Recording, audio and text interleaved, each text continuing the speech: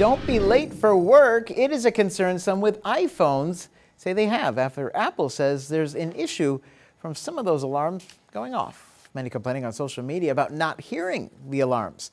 Well, Apple says now it's working to fix that problem. They're also working to see how widespread it is. Some with iPhones say turning off the attention aware feature has helped solve the issue with those alarms.